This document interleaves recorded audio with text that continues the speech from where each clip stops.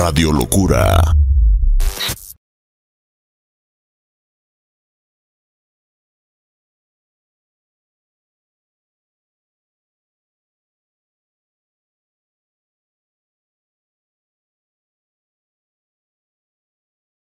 Hola, ¿qué tal? Bienvenidos sean a este su programa del Show del Combo. Les quiero dar muchísimas, muchísimas gracias por seguirnos viendo, por estarnos apoyando y pues nada, estoy muy contenta de estar aquí con mi compañero Alejandro. ¿Cómo estás, Ale? Bien, Saumi, ¿tú qué onda? ¿Cómo has estado, comadrita? Todo perfecto, todo correcto. Gente bonita, gente hermosa, bienvenidos sean cada uno de todos ustedes al programa de todos los jueves, al mejor programa de todos los jueves, señores. Hoy el show del combo para cada uno de todos ustedes. Señores, el día de hoy traemos unos grandes, un gran invitado. Sao, cuéntame un poquito de él. ¿Quién traemos el día de hoy? Pues nada más para que se den una idea, está en un, todos los lugares. En todos los lugares no hay persona que no lo conozca. Si lo dicen es porque se hacen, se hacen los que no. Tenemos a nada más y nada menos que a DJ Esli hoy aquí con nosotros. Vamos a estar platicando de su carrera, vamos a estar platicando de, lo- de los éxitos que ha tenido y sobre todo de las cosas a futuro que vamos a tener aquí, algunas sorpresitas y unas cosas en exclusiva que vamos a tener aquí nosotros, ¿no? Efectivamente, Saomi, el día de hoy traemos a DJ Esli, por supuesto, de Candela Music. Señores, el día de hoy, para todos ustedes, él es DJ Esli. Y aquí nosotros iniciamos. Este es el show del combo. Yo soy Alejandro Reyes. Y ella es... Saomi Mars. Y aquí iniciamos. Yo, este reperín el ronco de Puerto Rico enviándole un saludo a todos mis panas mexicanos. Tú sabes cómo es. Ajá. Saludando a mi pana DJ Ellie. Oye, Ellie, que es la que hay. Ellie, tú eres un loco. Oye, Rafi, y para que se acuerden del clásico, Abima, Abama,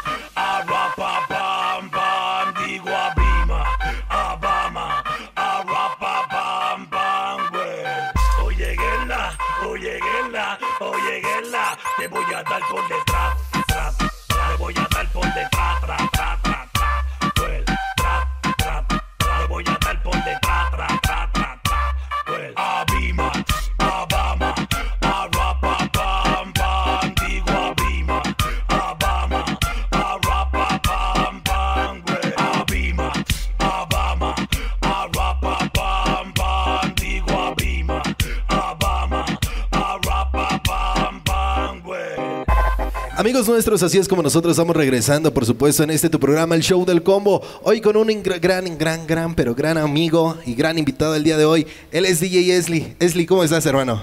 Bien, amigo. Gracias a todos por invitarnos. Hola. Gracias a todos los que nos están viendo. Este, un saludo que ahorita vamos a platicar a ver, a ver qué tal nos va, ¿no? ¿Cómo estás, compadre? Antes que nada, pues gracias por haber aceptado la, pues, la entrevista, la invitación, hermano. El día de hoy, pues ahora sí que toda la gente estaba esperando esto. También yo, la verdad, lo estaba esperando, carnal, porque pues hace un chingo, hermano, que bueno, pues ahora sí que nos conocemos y toda la onda. Pero pues ahora sí que quería saber un poquito más de ti, hermano, que ya sabes, pinche combo chismoso, ¿no? Ya. Hay que hacer chisme, chisme. Saomi, ¿tú qué le querías comp- ahora sí que preguntar acá a mi compadre? Pues nada, creo que todos somos súper fans de ti, obviamente. Pa- para empezar, ese es el punto número uno. Y enseguida, pues nos mandaron igual hay unas preguntitas en, en nuestras conversaciones de Messenger. Pero vamos a empezar, pues, por así que por la principal, que era conocer un poquito más sobre ti. ¿Cuántos años tienes en la industria de la música, no solamente como DJ? En la industria como 18, más o menos. Como DJ 16. Nada más para que se den cuenta de todo lo que andan haciendo estos muchachos hoy en día. Son 16 años, hermano, que te han costado trabajo llegar a, ahora sí que picarle piedra para llegar hasta ahorita hasta donde estás, ¿no, hermano? Y todavía falta más. Pues sí, yo creo que como que tanto trabajo, la verdad es que no. Nunca me ha costado trabajo la música porque yo siento que ya nací con eso y es algo que es natural.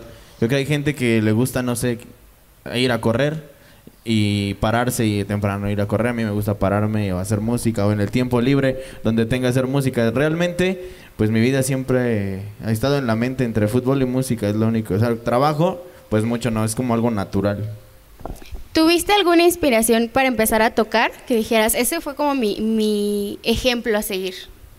Pues tanto un ejemplo no, sí tenía un gusto por, por algunos DJs que empecé a conocer en ese tiempo, que era un DJ que se llamaba Moon, y bueno, se llama, todavía por ahí saludos al Moon, y a otro que se llama Master. Eran como que la gente que estaba a mis posibilidades ver, me explico. Pero ya como un ejemplo a seguir, o pues mi hermano que también es, eh, era DJ, fue como que el que, pues yo veía él cómo avanzaba y pues yo también ahí atrás de él, ¿no? Pero así como un artista, no, fue más local por donde andaba. Pues usted todavía era un niño. ¿Cuál fue tu primer contacto con la tornamesa? ¿En qué evento, hermano? O sea, ¿en qué evento? Me comentabas ahorita de los cassettes, papi. A ver, cuéntame, eh, cuéntame eso. Pues como tal, yo no tuve, eh, para mi gusto como ser DJ, no tuve el primer contacto, no fue con una torna, fue con unas grabadoras, güey. Realmente, y, y el presupuesto no alcanzaba de mis papás, ni mucho menos el mío, porque tenía 12, 13 años. Y lo que hizo mi papá, nos regaló unas grabadoras y, y una mezcladora a un amigo que, bueno, ya falleció, el, Juanito. Y nos la vendió muy barata, mi hermano y a mí. Entonces conectábamos dos grabadoras y pues dale con el cassette y que tocabas. Eso fue un contacto con lo primero que empecé. Y después a los discos. Pero ya con una torna fue gracias a mi hermano. Porque él ya, ya empezaba con el más gusto del DJ. Y rentábamos unos aparatos y él me- ya... Bueno, ni me los prestaba sinceramente. Yo me metía a escondidas y yo los agarraba. Pues ya estaban ahí en la casa. Pero no era algo así como que... Llegué a algún lugar y me dejaron tocar nada.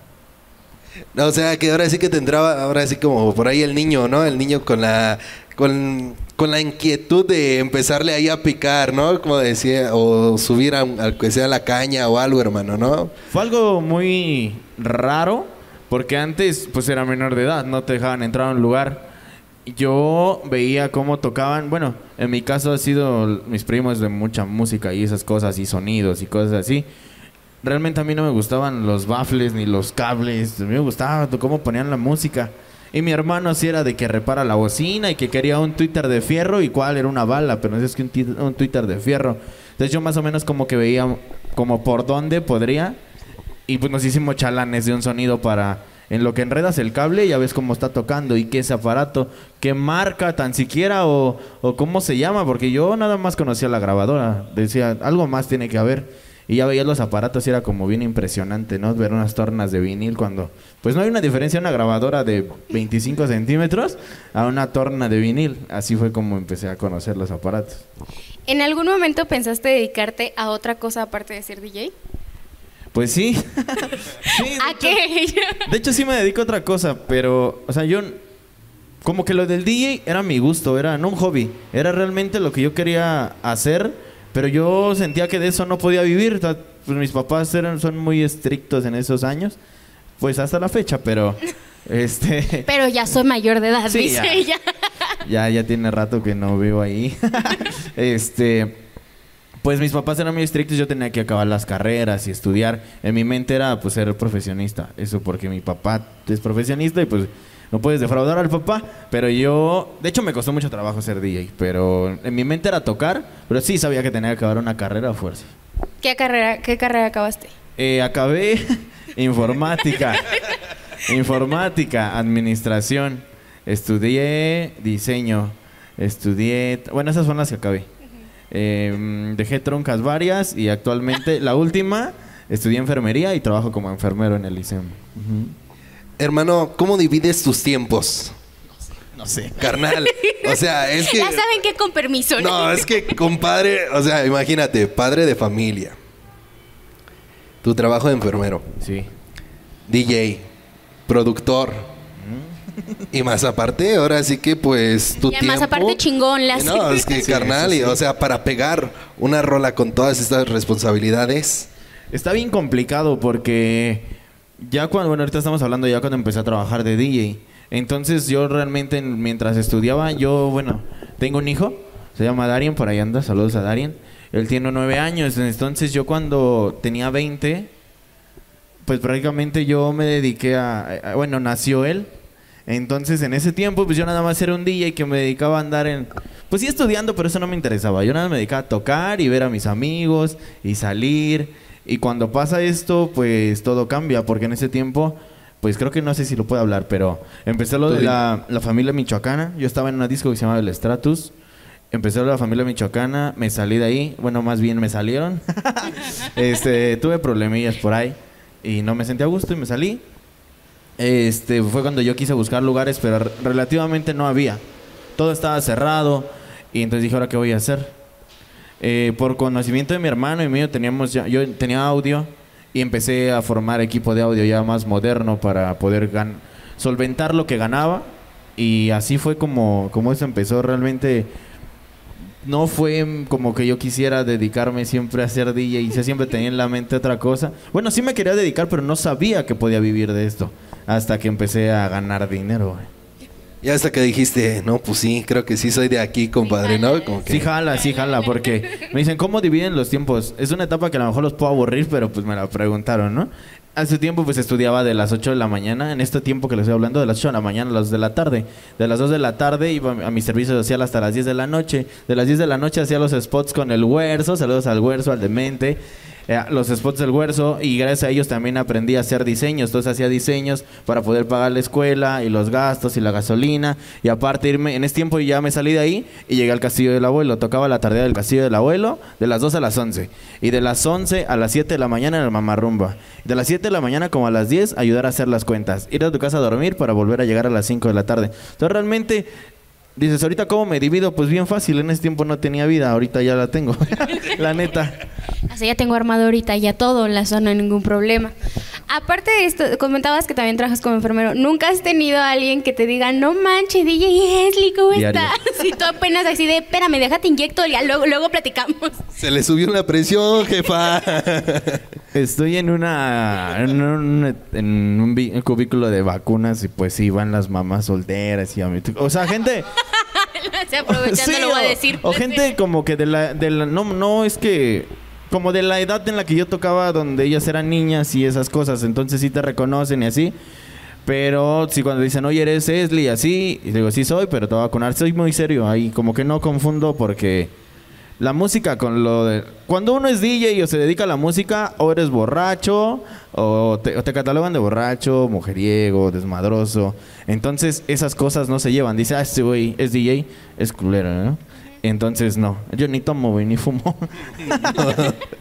Pero bueno, gente bonita, gente hermosa, ahorita nosotros continuamos, vámonos rápidamente a un corte comercial y nosotros regresamos. Recuerda, él es DJ Esli, hoy en el show del Como. Nosotros regresamos.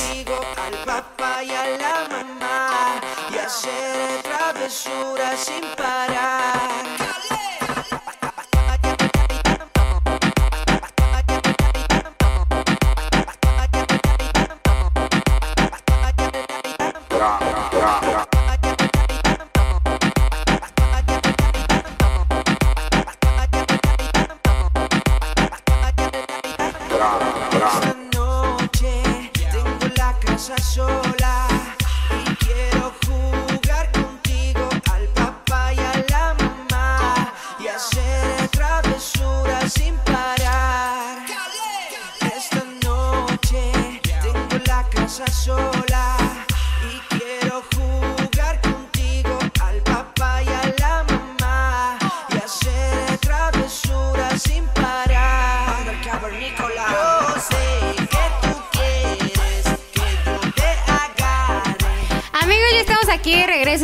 muy contentos, que sigan ayudándonos a compartir, a darle like y sobre todo, pues muchas gracias por estar aquí viéndonos. Vamos a continuar con las preguntas acerca con DJ Esli, que nos quedamos aquí en un temita de cómo separa esta parte de su de su pues carrera profesional y esta carrera que está pues muy encontrada con la otra, ¿no? Pues sí, es algo pues, la do- lo contrario, ¿no? Eh, pues básicamente lo del trabajo, yo trabajo en la mañana. De 8 de la mañana a 4 de la tarde soy enfermero y no soy DJ. Y de, la, de ahí para adelante soy DJ. la neta. O sea, Y- sí lo separo, güey. No, y es que ahorita no sé si te ha tocado de que, bueno, no sé ahorita si te ha tocado la mala suerte de que llega la jefa y dice, ah, eres DJ Aisley. Oye, hijo, pero pues ¿por qué están diciendo que no salgamos ahorita en tiempos de COVID y tú estás tocando? ¿No te, no te ha tocado así la preguntita o algo así? No, no mucho porque soy muy... La neta soy reservado, güey. O sea, con los amigos soy amigo, pero con los demás soy serio. Y... Más bien yo ni comento, ellos me preguntan de lo que hago. Yo no comento, hola, soy DJ, voy a tocar, no. Ellos me dicen, ah, vi tu Facebook, porque también casi no tengo a nadie agregado. Este, vi, vi tal, más que al director, ese es, eh, es una persona que, que creo que me apoya mucho en lo que hago. Me, siempre le está diciendo de la música, y Candela Music, y que así, que el reggaetón. Y luego llego y pone la canción y así. Más, más que nada ellos me dicen que, oye, fuiste a tocar a tal. O mi hija, escucha tu música. Este, mi hija, una gorra, un saludo, así, cosillas así. Pero, pues yo creo que en el trabajo donde yo estoy, pues la, la mayoría de la gente es un poco mayor. Entonces los que somos como que de la edad, pues saben. Los demás, pues no, no, no hay mucho que platicar sobre el DJ. Hermano, ¿cómo nace Candela Music? Cuéntame un poquito de eso, del cómo, cómo nace Candela, papi. Está chido. Yo estaba en el castillo del abuelo trabajando. Hasta el día de hoy sigo trabajando ahí. La neta, estoy muy agradecido con, con el señor.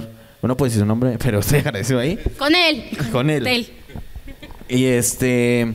Bueno, pues yo trabajaba ahí y, y Ucielito Mixe, eh, yo lo conozco hace mucho tiempo. Yo hacía fiestas con, con su tío. Hice varias, hice dos creo con su tío, pero ya éramos vecinos de una calle, somos vecinos de calles. Entonces yo ya conocí a Uciel y en ese tiempo yo llegó su, su abuelito Uciel y me dijo que, que, que, que si, que si Uciel podía trabajar con nosotros y así, y Uciel toca muy bien. Que pues sí, vente para el castillo, empezamos a trabajar y ahí hicimos como que una amistad bien cabrona. Y yo le dije, oye Uciel, yo desde niño pues he querido tener una casa en donde pueda tener un estudio, en donde podamos grabar y, con- y tener amigos y cantantes y la chingada. En ese tiempo estaba Bulbo y Uciel trabajando ahí y le dije a los dos. Y Bulbo me dijo, va, pero él ya tenía su estudio, güey. Y yo tenía pues el de Casablanca con Huerzo. Allá eh, pues, en su casa de, de todo. Bueno, ya ni es mía, es de mis papás. yo ya no iba ahí. Pero entonces ya, yo me, en ese tiempo antes de Candela, yo ya tenía como que estaba construyendo mi casa. Y fue como le dije, güey, vamos a hacer algo. Tú traes un talento bien cabrón. Yo traigo como que contactos y conocimiento. Pero pues tú estás a la... Sí, él traía un ángel bien fuerte en la música, güey. La gente empezaba a subir canciones y eran boom, boom, boom y a la chingada, güey. Yo, la neta, cuando yo llegué con Uciel, él ya tenía sonada, suena perreo. Cuando creamos Candela. Entonces dije, güey, tú no puedes estar... Él- nunca se lo dije, pero en mi mente fue, Uciel no puede estar grabando un en vivo donde aparezca como que su cuartillo y su cama atrás y así. Y no por mala onda, sino porque este güey tenía que verse muy bien porque estaba haciendo cosas realmente muy bien. Y pues esa fue la idea. Fue la idea de los dos. Ya un dos. poco más profesional, ¿no? Exacto, fue la idea de los dos. eh, a crear algo ya bien hecho, güey. Ya no jugarle a, al DJ que toca cada ocho días. O sea, ya fue crear algo que, que, que fue que marcara porque México no había marcado nada, güey.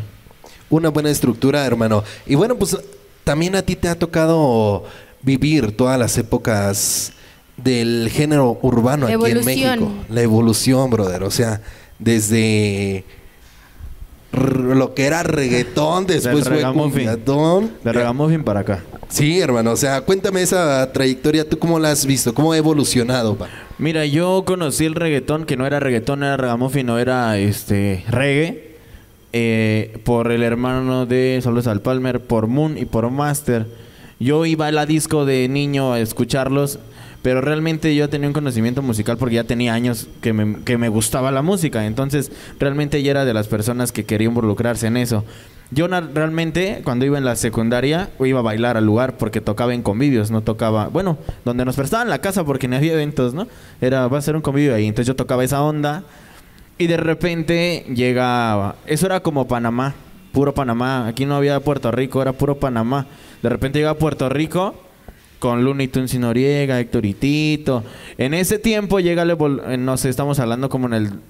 Yo tengo mi primer set de reggaetón que yo grabé en 1999. Entonces, este, y ahí lo tengo bien guardadito porque sí me gusta. ¿Qué iban haciendo en ese año? Qué padre. Pues yo creo que muchos ni vivían. No, carnal. Yo tenía creo dos años. Oye, Sí. ¿y por qué no lo subes, carnal? Porque la neta, yo soy de la idea, espero y no, no los defraude, ¿verdad? pero yo soy de la, de la gente que conozco no los defraude. Yo soy de la idea de estar con la generación nueva porque es la que me va a mantener vigente. Lo que pasó ya pasó, ya se acabó.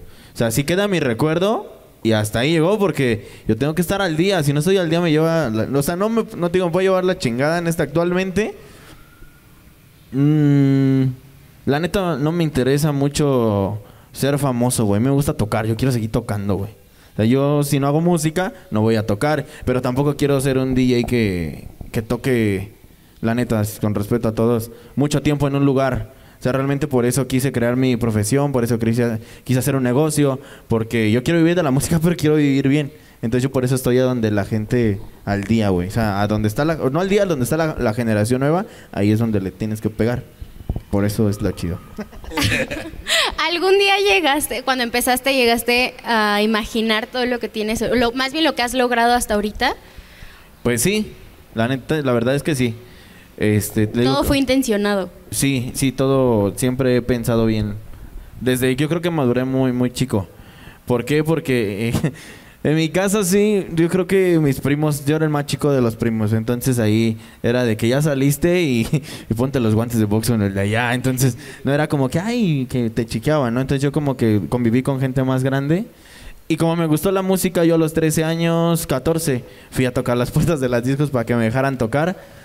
Y la neta fue algo bien chido porque a los dueños, ya no era el encargado, ya a los dueños les causaba unas sensaciones como que ese niño está viniendo. Entonces ya tenía como, como contacto con los dueños y yo ya veía que la gente ganaba un chingo de dinero y yo quería hacer eso. O sea, yo no quería a tocar para... No sé, yo tenía dentro de mí que yo quería vivir de este pedo y hacer cosas bien. Entonces fue como que la relación con la gente.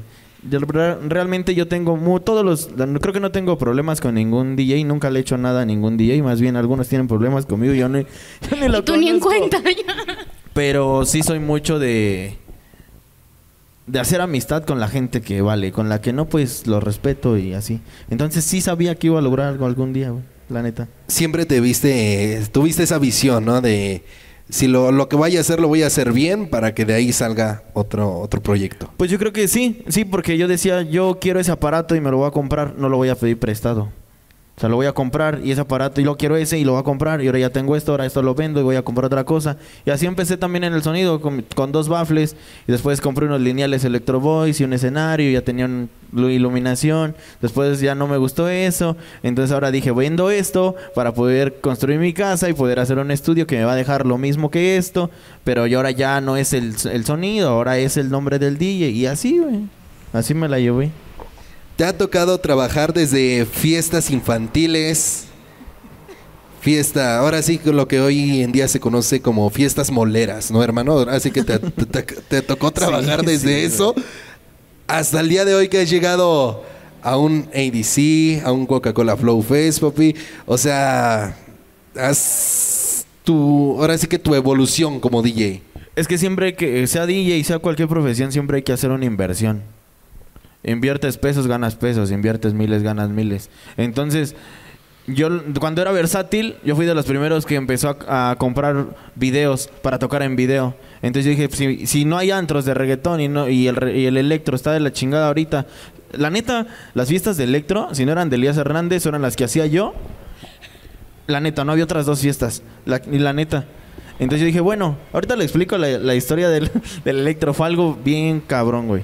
Pero bueno, entonces yo decía, si quiero voy a tocar, porque sí, tocaba en el Mamarrumba 8 horas, 10 horas, y en el Castillo 8 horas, y así. Bueno, si lo voy a hacer, yo me fui a Veracruz a conseguir discos con discos con video, porque en Veracruz la neta es donde tienen todo, cabrón. Hay, hay DJs por, por todos lados, güey. Entonces yo empecé a vender como que música en disco por aquí y me volví otra vez popular. Ah, ese güey tiene, háblale, él tiene, él tiene y así, güey. Él tiene música. O sea, realmente todas las profesiones las tienes que invertir, si no, güey, no te puedes estar esperando a ver qué llega del cielo, güey. O sea, tú tienes que buscarlo a huevito, güey.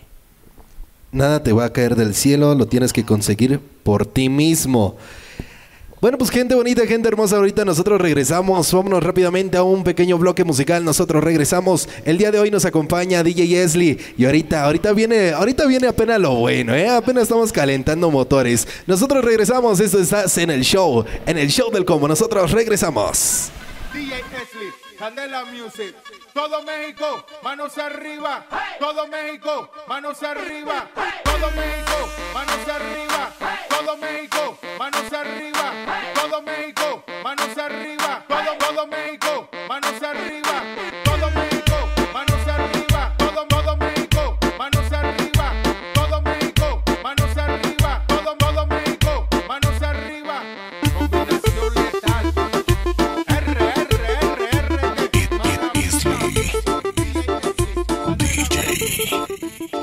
A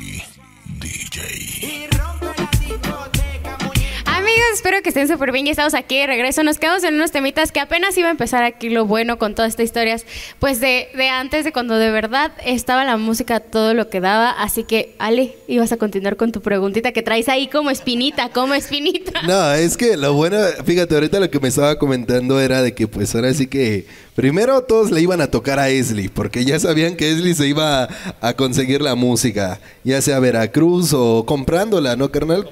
La compraba, güey. Que de hoy en día, pues desafortunadamente, no sé qué onda con, con nuestros compañeros que, güey, pásame esa, no te ha tocado, compa. Pues yo creo que ya es hasta flojera porque todo está en el YouTube, güey. Antes, ahorita ya todo el mundo sube su música. Nada más hay que poner chingones y, y ver cómo. Saber buscar. Si no tienes oído, vas a ser un DJ malo.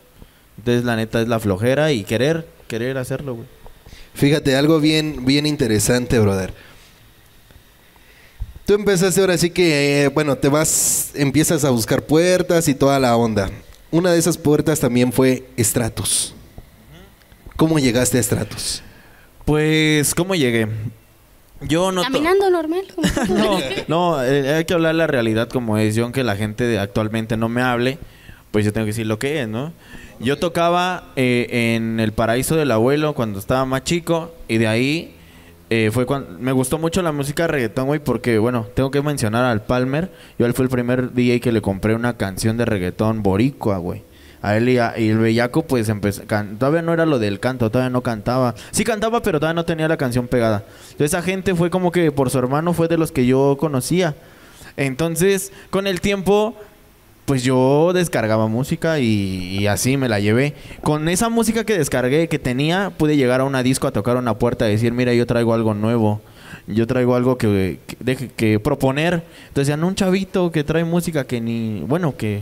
Pues sí, la trae. ¿De dónde la sacas? Fue, fue la manera en que... Yo llegué al paraíso del abuelo y había un DJ que se W y otro que se llama Héctor Guzmán. Y les dije que si me podían dejar tocar. O sea, llegué y les dije que si podía hablar con el encargado. Pues me dejaron pasar, no sé por qué me dejaron pasar, güey. Y este, ah, ya me acordé. Les dije, soy amigo de DJ Master, déjenme pasar y así. La neta me pasé. Y me fui a la cabina, estaban haciendo talacha. Y le dije, oye, ¿puedo tocar? Y me quedó viendo, pues de por sí estoy chaparrito. Y un niño de 13 años. Si este güey que puede tocar, ¿no? Y me dejó tocar y le enseñé música. y me hice amigo, güey, porque ah, este güey trae música. Y fue como conseguí trabajo ahí. Ahí toqué con muchos artistas, la neta. Con de Puerto Rico y X cosa. De ahí, la neta es que yo dije, de aquí no voy a pasar. Mi nombre no suena, me voy a ir a tocar a, a otros lados. Y empecé a tocar en el tumbao y en todos lados. Yo iba y déjenme tocar, déjenme tocar, déjenme tocar. Y la neta siempre hice una relación buena porque la neta es que sí era bueno. En ese tiempo yo tocaba en el tumbao, me quedé ahí de residente un buen rato y, y la neta es que eran llenos totales. El África Star en ese tiempo por allá. Tocaba reggae yo con el Ashanti. Acá en el tumbao también tocaba reggae con, con Lion en vinil. Entonces realmente yo ya era un DJ completo, era reggaetón y yo sabía tocar vinil con reggae y ta, ta, ta, ta, ta. Con el tiempo es algo bien raro. Llega el tiempo y es el aniversario del tumbao y llega la antena, llega el Mega y llega Parra. Y yo me voy porque en ese tiempo, ese día me llevé a un amigo que se llama Lalito Mix, me lo llevé, pero su mamá no lo dejaba. Lalito tenía 15 años, güey, 16. No lo dejaba llegar temprano, güey. Tarde, perdón. Y le digo, vámonos ya, güey, porque nos van a regañar. Nos fuimos y nos alcanzó el Lion. Y dice, oye, préstame tus audífonos, que esos güeyes no traen. Y así fue como conocí yo a, Mega y a ellos, porque los conocí porque no traían, creo que unos audífonos. Me dice Mega, préstamelos y al otro día este, vas por ellos. Al otro día fui a su casa, porque según me iba a dar unas canciones, de las cuales yo ya tenía algunas. Entonces como que hice amistad. Ese día él iba, me acuerdo mucho que iba a, tener una fiesta, iba a rentar algo. Y le dije, pues no rentes, yo tengo ahí unos baffles, algo pasó así. Entonces yo ya sabía, no sab- yo no sabía que... Escuchaba el nombre de Mega, pero no sabía dónde tocaba, güey. Yo me enfocaba más en mi pedo, güey. Y, e- y yo ya sabía que Mega tocaba. Bueno, ahí me enteré que Mega era el DJ del Stratus. Entonces ahí fue cuando, la neta, este, este vato, pues yo le decía, ¿puedo ir contigo, güey? O sea, fue ahora sí que casualidad y pues ahora sí que el destino, ¿no? Pues es que el destino llega, pero ¿estás preparado, güey? Por algo llegó, güey. O sea, llegaron porque no tenían las cosas que yo había comprado, unos audífonos. O, o este güey dijo, pues este, o X, pues tiene baffles, tiene algo. Este, pues por algo ha de servir. Porque me imagino que si era un chamaco que, pues no tenía como que nada que darle, pues es en todos lados, si no nada más él. Si no tienes algo que aportar, y es la neta, nadie te va a dar las cosas gratis, güey. A él le costó su trabajo en ese tiempo. Y así fue como llegué al Stratus, güey. Le decía, déjame, pero ahí en el Stratus eran muy estrictos. Yo no podía decir que era DJ porque te bajaban de la cabina. La neta. Entonces yo en es- es- estaba cabrón, no te dejaban. El Stratus era una empresa, pero empresa, güey, chingona. Entonces yo le dije al Mega, pues diles que soy algo de ti para que me dejen estar aquí. Sí, les dijo, déjenlo estar aquí, es mi amigo o algo así. Mi Y- primo, ¿no? Típica. ¿no? Puede ser que sí, güey. Algo así, no recuerdo muy bien. Así yo no sé, pero yo estaba ahí. Ahí- ah, yo llegué. Como sea, yo llegué. Con el- la neta, la gente, yo creo que cuando uno está preparado, la gente sabe. Había un DJ, saludos al cráneo. DJ Cráneo, residente, jefe de cabina.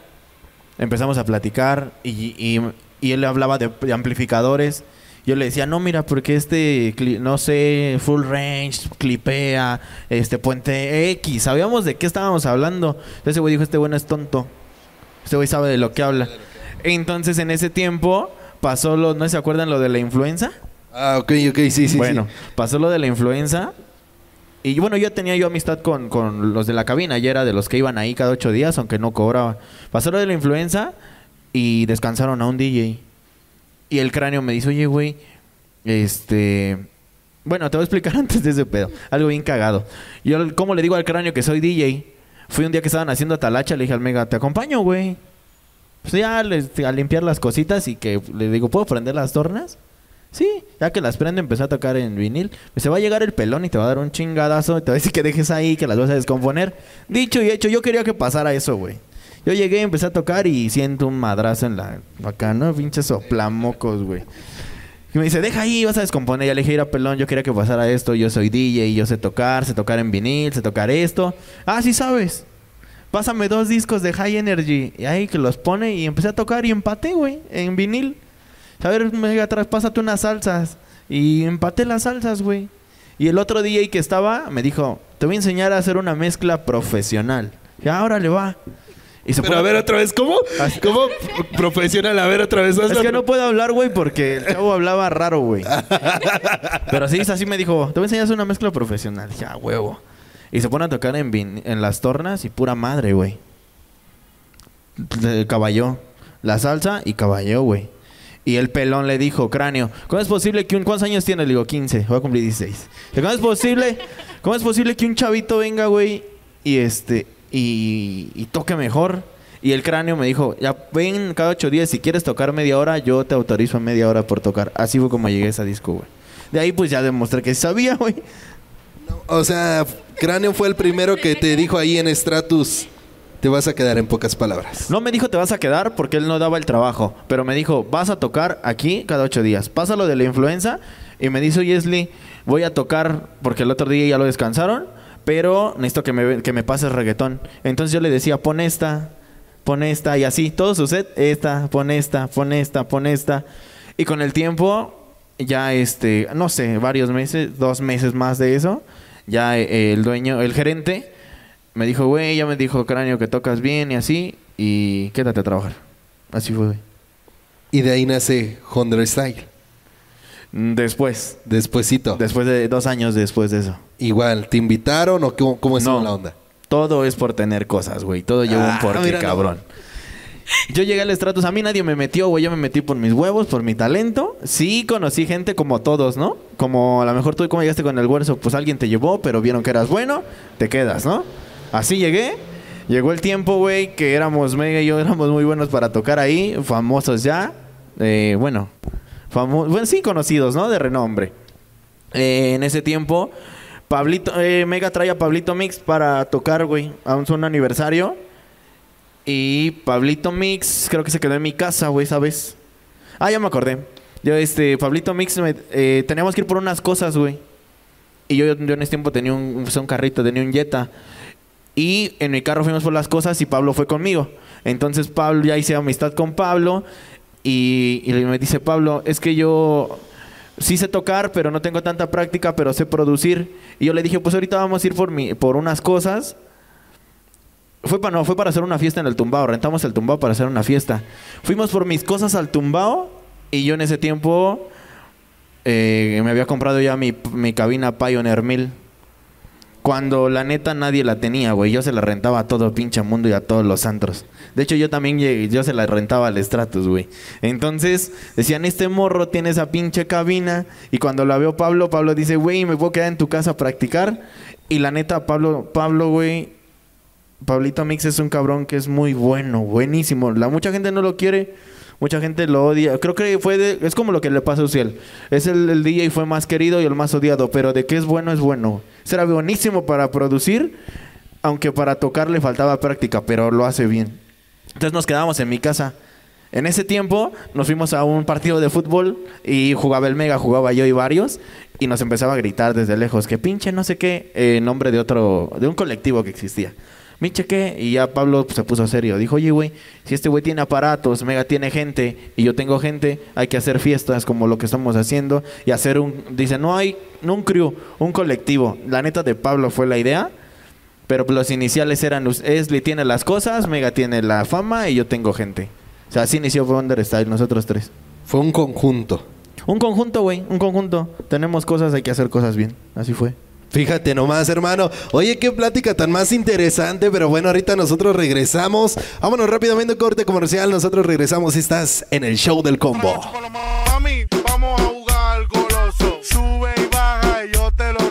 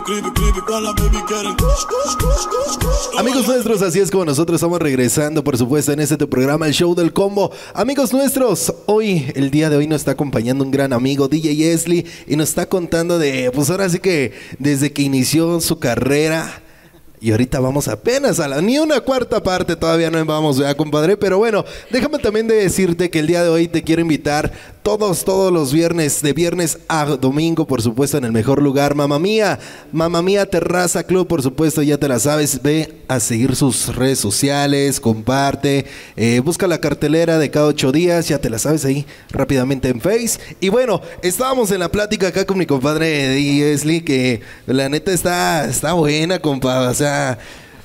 ¿Cómo llegaste? ¿Cómo, cómo se unió Honda Style, no? Que duraron, pues sí, duraron algo, brother. ¿Cómo, cómo? Pues duró lo que duran las generaciones, ¿no? Sí, exacto. Entonces, este, pues te digo que empezamos, nosotros no- éramos los principales tres. Ese día Pablo dijo, no tenemos un nombre aún, no sabíamos ni qué, pero íbamos a formar un equipo y vamos a buscar gente para hacer algo más fuerte. Y buscamos a la antena, pero antena nos dijo que no, que él iba a hacer el suyo. Buscamos a Parra y Parra dijo que, que no, que él también iba a hacer el suyo. Entonces, Lalito siempre ha sido mi amigo. Yo metí a Lalito. Eh, Mega metió a Pedro Fuentes ese mismo día. Fuimos en mi carro, fuimos, lo buscamos, lo visitamos. Va. Y como medio año después, Pablo metió a Yester. Y creo que éramos nada más ellos. Yester nos habló de un DJ que se llama Remix. Y así fue como llegó Remix. Éramos nosotros. Ya después eso fue como la primera generación. Ya lo que después llegó, pues ya fue más por. Pues por amistad o por otras cosas que no tenía que ver con talento, ¿no? George fue uno de los que llegó por talento. Pero los demás eran como que por compromiso. Entonces ya no me sentía yo a gusto. Dije, ya, ya, hasta aquí llegué ahí. Eran llenos espectaculares cuando se unía Honda Style, brother, y ahora sí que la historia está... Y ahí es cuando empieza YouTube, ¿no, brother? Y ahí es cuando empieza YouTube y empieza a marcar la, los videos y todo eso. Llega un año de Honda Style. un evento que fue marcado para toda la historia. Yo creo que ni siquiera este una, una marcha al Zócalo, había un mar de gente afuera del Stratus, brother. Fue el primer aniversario. Fue el primer aniversario de Under Style. Lleno total. Hasta la madre. Pues qué chido, ¿no? Que se llenó, pero nuestro bolsillo estaba vacío, güey.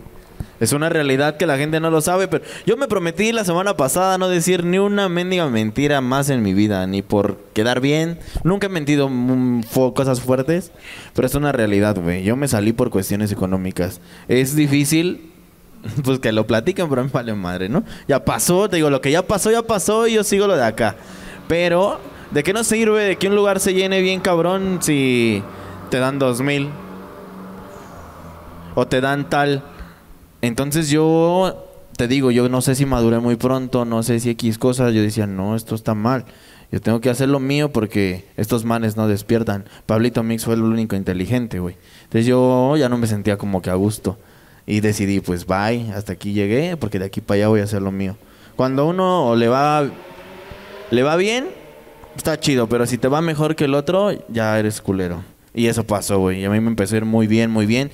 De la nada, yo no sé cómo ya estaban todas las bardas de aquí a Texcoco de Esli cada ocho días. Y un tiempo de aquí a Tláhuac, Esli, Esli, Esli, Esli. El día que yo me salí de Stratus, me sentí como si te hubiera dejado una mujer, cabrón, triste, deprimido. Porque ahí está tu núcleo, tus amigos, gente que has convivido por cinco o seis años, güey. La gente que te grita en tu nombre y pasar por los pasillos y, ay, Esli, ay, Esli", X, ¿no? La, la fama gusta, la fama gusta, güey. Es lo que es, te, te, te llena el ego, güey. Cuando me salí de Stratus me sentí mal dos meses, güey. Mal. Mal, mal, mal, güey. Me, eh, me dejaron de hablar los amigos porque el, el gerente les dijo que ya no me hablaran. Y los amigos lo aceptaron. Entonces yo fue cuando dije, estos güeyes no son mis amigos, ¿no? Y yo pen- sintiéndome mal por estos culeros. Ese día, ese día que me salí, es algo bien cabrón, güey. Porque yo me compré mi primer audio lineal, güey. Y me lo fui a gastar. Y fui a pagar la escuela. El día que me salí dije, hoy tengo que hacer algo. No puedo estar deprimido. Ya estaba mi hijo, güey. Tenía tres meses. Dije, no me puedo salir, no, no puedo tirar como a chillar porque... O chilla- chillamos los dos, ¿no? Le dije, algo. Fui a pagar mis cosas, fui a pagar... Hice, quise hacer un, negocio.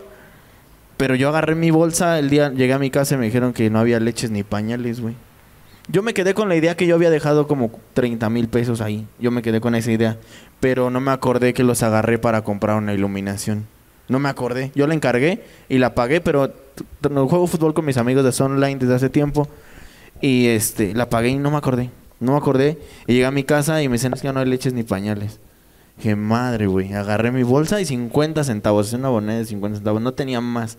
Y nunca he sido de pedirle a mis papás, oye, es un paro. No me gusta, güey. No me gusta. Yo tenía en la cabeza que mi papá dice, este güey puede. Y yo si le decía eso, le iba a decir, lo voy a, lo voy a defraudar. Entonces fue cuando me sentí mal y me puse chingón a buscar trabajo. Hay una, una etapa, hay un DJ y saludos al Beckman. Yo actualmente no le hablo cuando lo veo, pero no le hablo mucho. Y ese güey me tendió una mano, güey. Él, Beckman, Calumix y Remix. Me dijeron, no te preocupes, nos vamos a ver cómo esta semana te vamos a conseguir trabajo, güey. Porque te acabas de salir de esa madre y ahorita no tienes. Y sí, güey, me consiguieron trabajo. Beckman me dijo, no te preocupes, vamos a abrir. Él me metió una disco que se llamaba El Menage. Él me hizo DJ residente en Tláhuac. Me empecé muy bien de aquel lado junto con Carlo Mix. Carlo Mix me dijo, güey, no te preocupes, tú eres muy buen pedo, conmigo vas a trabajar cada ocho días.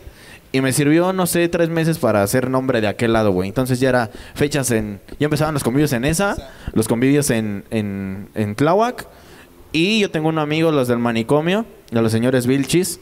Yo trabajaba mucho tiempo con ellos y me llevaban a tocar a Texcoco, güey. Y yo empecé a hacer nombre en Texcoco.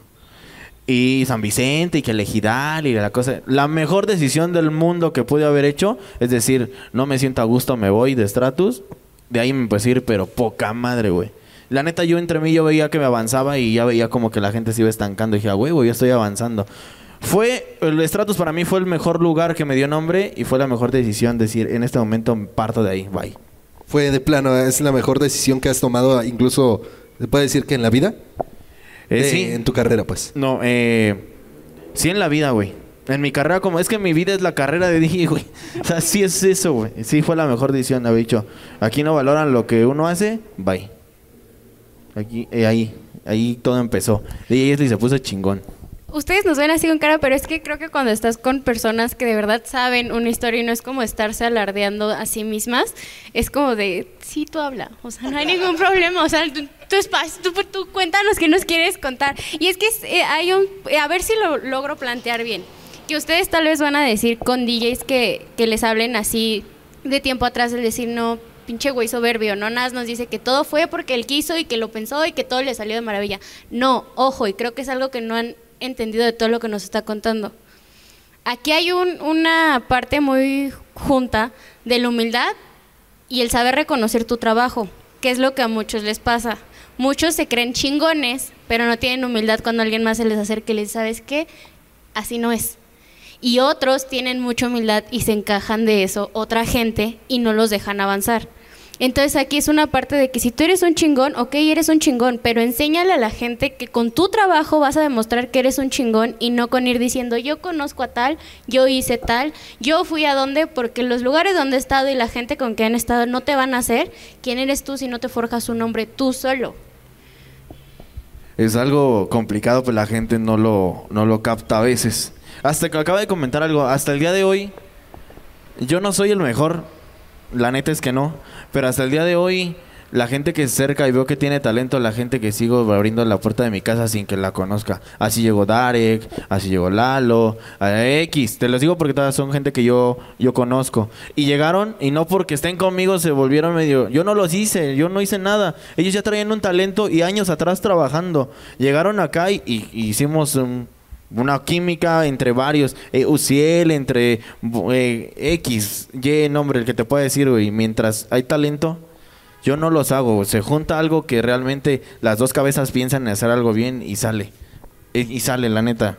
Mucha gente dice, es que Esli, donde van, este, mucha gente, no sé, tiene la idea de que es que Esli les ayuda, ¿no, güey? O sea, yo nada más brindo lo que ellos no pueden tener en ese tiempo. Si yo tengo un estudio, pues ocúpenlo. Reconoces el talento cuando debes de. Si no hay talento, ni pierda mi tiempo, güey. Le digo, ¿sabes qué? No, güey. No me gusta. Y es que esto es algo que decía, lo mencionaban uno de los invitados que tuvimos también, que era lo que, lo que decía el Cholo Fuentes, que mencionaba igual. Yo no soy de las personas que ayude a la gente nada más porque, ah, sí, sí, ven, te ayudo luego, luego. No, las de yo checo primero y les reconozco que son unos chingones, pero no por eso les voy a poner todo fácil. Que es lo que tú haces, o sea, el saber que ya tienen un, un trayecto atrás o que sabes cómo los vas a guiar hacia enfrente, que eso es una pieza clave y no llegar a decir, ay, quiero trabajar contigo, ajá, y luego, ¿qué, qué haces? No, pues quiero trabajar contigo, ¿no? Pues sí, eh, el trabajo, mientras sea trabajo, vamos a trabajar. Pero si es trabajo con chupe y hay viejas, ya, ya, bye, no me sirve. Así es este pedo de la música, el alcohol y las viejas. O sea, es parte del núcleo, pero el DJ que quiere progresar no, no se lleva mucho. No he conocido un DJ que sea bien pedo, bien mujeriego y sea exitoso, güey. Que en México, en México, güey. De hecho, me acuerdo mucho de una publicación que hizo este Esli. ¿Quién quiere trabajar, pero que no tome, que no chupe, que no se drogue y que llegue temprano? De animador, ¿no? Andaba De buscando anim- animador. De animador. Y fíjate. Pero bueno, vámonos rápidamente a un corte comercial. Nosotros regresamos. Estamos el día de hoy con DJ Esli. Y ahorita viene la otra preguntita que ahí viene Galenchu. Pero bueno, continuamos. Esto es el show del combo. Si bailando ella se aloca, cuando el palo a ella la toca, es porque ella quiere que en la noche yo le dé. Si bailando ella se cita, cuando el palo a ella la timbra, es porque ella quiere que en la noche. Yo le dé con el palo, por eso me preparo, yo la agarro y la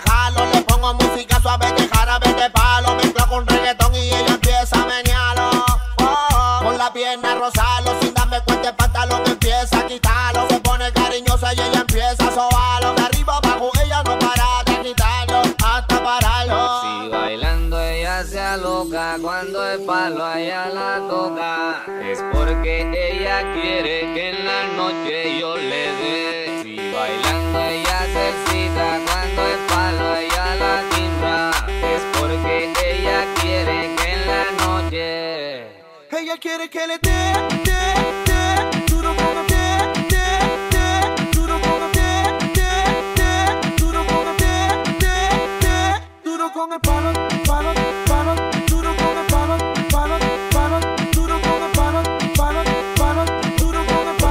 Así es como nosotros estamos regresando, gente bonita, gente hermosa. Bueno, pues antes que nada, gracias por estar viendo, por supuesto, el día de hoy el show del combo. Y también, pues hoy estamos con una buena entrevista, rica, sabrosa, amena, con DJ Esli. Esli, ya me contaste, compadre, lo que fue Honder, el cómo inició. Pero hoy en día, hermano, pegaste. Te has consolidado, te has mantenido Sí, vigente. Vigente y que el día de hoy yo me puedo atrever, ahora sí que lo puedo decir con toda seguridad, has llegado a todo el mundo, brother, a todo el mundo. Hay poco a poquito. Sí, ya con, con mínimo eh, el objetivo de pegar una canción ya mundial ya está. Ya está. No en todos los países del mundo, pero en los que la música latina suena, ahí está mi canción. Como se llama Saxo, Saxo suelta. Es una canción que hice con mi amigo Darek Sotelo. Lo hicimos los dos hace tres años en la casa de mis papás, en un estudio que yo tenía. Ahí la hicimos y hasta el día de hoy pegó. Bueno, ya lleva dos, como año y medio, dos años pegada, pero hasta hoy se reconoce que es de nosotros dos. Brother, pero ¿cómo fue esa transformación del reggaetón al electro? Mira, te voy a ser bien sincero. Yo hacía cumbiatón y no me gustaba hacerlo, güey. Nunca me gustó hacer cumbiatón. Llega el momento que con el tiempo le agarras el gusto, pues porque lo tocas cada ocho días, güey. Y lo tienes que hacer bien. Pero llegó un momento en que yo perdí el gusto, güey. Y de un proyecto armaba tres rolas. Nada más le cambiaba la melodía y era lo mismo. Y una vez fui a tocar reggaetón y llegué con mis cosas de cumbiatón y, y ahí no jalaba, güey. Y dije, estoy haciendo las cosas mal, lo estoy haciendo por negocio y no por gusto, cuando a mí me gusta otra cosa. Y ese día dije, yo no vuelvo a hacer esta cosa, güey. Jamás. Empecé a hacer reggaetón, pero realmente el reggaetón estaba en ese tiempo bajo. Entonces yo con, el, con lo que hice con el cumbiatón, te soy sincero, me sentía algo vacío en lo que estaba haciendo. Ganaba dinero, pero no me sentía 100% lleno, güey. Es una realidad.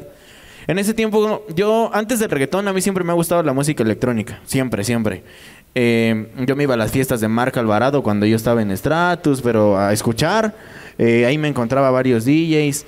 Eh, me iba a las fiestas de Elías porque me gusta el reggaetón. DJ Lira, saludos cabrón.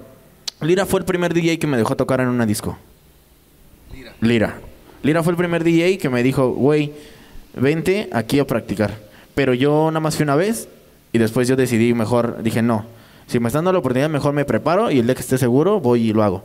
Entonces Lira es un DJ representante de, de- del, del, perdón, del electro. Y yo le dije una vez, oye Lira, quiero tocar, ya, ya tengo música, pero necesito que me orientes y quiero tocar música electrónica, güey. Y me dijo, güey, es difícil porque tu nombre ya está bien pesado en el reggaetón. Cámbiatelo. Dije, madres. En ese tiempo conocí a un DJ que se llama Eddie Silva, que es primo de Gio y de Hansi Silva. Los famosísimos Gio y Silva. Saludos, cabrones. Ahí visto que están haciendo, me gusta un chingo. Yo también hacía en radio y tenía entrevistas en mi casa. hecho, sí, carnal. La neta. Gracias a Huerzo y a Yacer lo aprendí a hacer, güey. Entonces yo, yo hacía esto en mi casa y yo invitaba a Gio. "Ah, vamos a una entrevista que nadie lo ha hecho en el electro. Y me hice muy amigo de Gio y de Hansi, de M. Sierra y de Lira. Hacíamos un pedo de entrevistas. Por lo mismo, ya tenía este güey su estudio, sus cositas, y tenía con qué hacerlo, bla, bla, bla. Pero cuando yo quería que me metieran, ya hice amigos con ellos. Cuando me quería que me metieran a una fiesta de electro, pues no se podía, güey, porque realmente mi nombre Era pesado en el en el- ajá. Entonces, las puertas, te soy sincero, se me cerraban así. No. Güey, méteme al flyer. No. Entonces yo dije, bueno. Fue soy- difícil, entonces sí fue Sí, güey. difícil. Dije, bueno, soy muy pendejo que tengo mis cosas. Las puertas se me cierran, pues abro la mía. Fácil y sencillo, tengo audio, tengo escenario, tengo cabina, tengo música. Actualmente tengo un poco de capital en mi bolsa, hago una fiesta y contrato al DJ más chingón de música electrónica que hay, que era Gozo, Gio y Lira, y son mis amigos.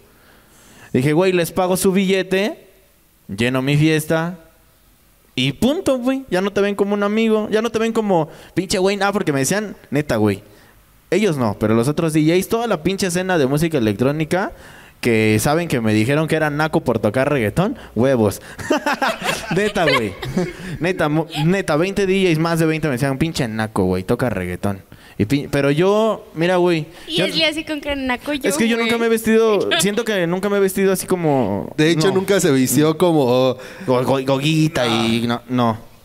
Lo mismo por yo creo que no. Me encantaría decirles, no, claro, pero yo ni siquiera estaba figurado en esa época. Entonces sí. Sí, no.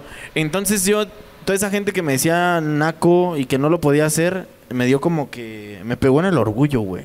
Y hoy te dice, amigo, ¿cómo estás? Es que esa, esa era una parte que te iba a decir. Y no es a, a la fecha, o bueno, desde hace tiempo, porque sí tienes tu trayectoria, que te ha llegado un, un- o alguien que de, de momento te dijo, ay no, o que te hizo el feo y ahorita y es como de, ay amigo, no te acuerdas de mí. Creo que todos. Nada más Lira, Gio, Hansi, eh, Gozo, de renombre. eh, bueno, de los que de la zona oriente. Que me apoyaron. Los demás eran como caja. O sea, no me decían, este, los que me decían Naco ya ni existen, creo. O tocan y la neta, pues no se entienden. Pero así que yo les puedo decir, estos cabrones me ayudaron. Me ayudaban en el conocimiento musical, pero no me podían meter un flyer porque yo no figuraba en el flyer, güey. Realmente no podían ayudarme. No si yo no hacía las cosas, no me podían ayudar, güey. Entonces fue cuando yo hice las fiestas, gracias a también a Eddie Silva, que es su primo de Gio. Y me dice, güey, tú tienes las cosas, yo tengo gente, vamos a rentar un lugar. Hicimos unas fiestas pasando mm, el puente de, del 14 hasta la madre, güey. Hasta la madre la fiesta. Yo toqué electro, toqué chingón. ¿En el saloncito negro que tiene cuadritos blancos? no, no, no, no, no. Fue uno, rentamos un jardín. Ah, ok. Te voy a dar una anécdota. En ese tiempo yo ya, ya, ya jalaba Uciel, güey. Y yo dije, güey, una fiesta de electro se aburre toda la fiesta. Hay que meter un güey de reggaetón. Uciel, le dije, Uciel, vente, güey, a tocar. Pero no le pusimos Cielito Mix. Dijimos que un DJ de Colombia y que la chingada. Y Uciel aparte estaba chiquito, ¿no? Sí, tenía 14, 15. Entonces trajimos que un DJ de Colombia, que le- yo le hice un spot ahí que desde Colombia, tal, tal, y Uciel tocaba, güey. Nadie conoció a Uciel, pero Uciel tocó y no era de Colombia, a ser Uciel. Esa fiesta nos fue muy bien. En esa fiesta, Eddie Silva metió a Roger, el del Black, en la barra, güey. Nos fue chingón. Y Roger ya me hizo amigo de Roger, güey. Me dice, oye, este, vamos a hacer otra fiesta, vamos a rentar un salón. Buscamos un salón, lo rentamos. Que ahí fue la, la primer fiesta de la mansión Schiller, güey. La rentamos nosotros.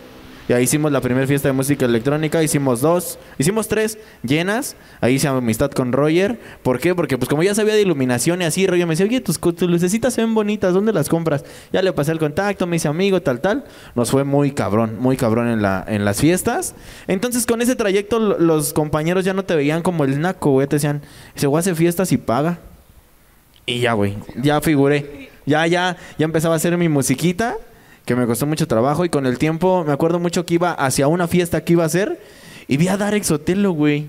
Ese güey es mi amigo de... Y con él hice una canción que se llama Suéltate el Dembow de Cumbiatón, que era DJ Cachis. no, ese güey no, o ni, ni le enoja, ¿eh? Lo vi y creo que el güey se acababa de separar y con su mujer. Le dije, vamos a una fiesta, güey. Y llegó a la fiesta y le gustó la música electrónica. Y este cabrón sabe hacer música. Entonces nos hicimos, dijo, vente, cállate a la casa, vamos a hacer música. Y empezamos a hacer música y música y música. A lo mejor nuestras canciones no sonaban, decían no son de ellos, pero ya decían es de un cabrón que está haciendo música electrónica. En ese tiempo Gozo llegó de Colombia y yo tomé un curso con Gozo. Me cobró como cuatro mil pesos por dos clases, güey. Entonces cuando llegó Gozo me dice, oye, güey, este, haz una base de electro. Y yo venía de la escuela, me venía durmiendo. Me estaba enseñando y me estaba quedando dormido. Mi objetivo era conocerlo más, güey. Conocerlo más y ser su amigo. Entonces cuando, se, me acuerdo que se fue a comprar la despensa con su esposa y cuando llegó ya estaba la canción casi hecha. Dice, pues no que no sabes. Ya le dije, la neta, mi intención es venir a aprender, yo ya lo sé hacer, pero es conocerte, güey. No, me lo hubieras dicho antes, que no sé qué, que la chingada. Me hice muy amigo de él. Me, él me llevó a Cuernavaca, me llevó a Toluca, me llevó a tocar a Puebla, a un chingo de lugares. Y cuando ya me veían, la neta, muchos exponentes con Gozo y con Gio, pues las puertas ya se empezaban a abrir. Ah, ese güey se junta ahí, y hace fiestas y ya hace canciones. Entonces fue difícil, pero fue bien chingón, güey. La neta estuvo ¿Supiste por dónde llegar a ese camino? toda la vida, güey. Lo he sabido. Desde que empecé, desde reggaetón, electro, siempre le he pensado antes de hacer las cosas. güey. Siempre lo piensas, lo mentalizas y ya después dices, ¿ya estás seguro? ¿Ya te sientes seguro? Vamos a chingarle. No, siento, primero pienso que, él, que la persona de allá no tiene y que yo tengo que le puedo ayudar para que me ayude y yo le ayude. Y así ya no, ya no pesa. Ya no pesa el trabajo. ya no. Ahora sí que sabes es una trabajar con en otra. equipo. Es una con otra y dice, güey, tiene lo que yo no tengo y él tiene lo que yo no tengo y a los dos nos sirve, güey. Y ya llega. Wow, no, no, carnal. No, ¿saben qué? Esta, esta entrevista se alarga dos horas, compadre. No les habíamos dicho, pero este es un especial de Un aquí especial del de show del combo. Ya. Vámonos rápidamente a un corte comercial. Nosotros regresamos el día de hoy con DJ Esli. Por supuesto, ya, ya, ya, casi, ya, ya merito, ya merito. regresamos, muñecos. Nosotros continuamos. Estás en el show del combo. Regresamos. Nos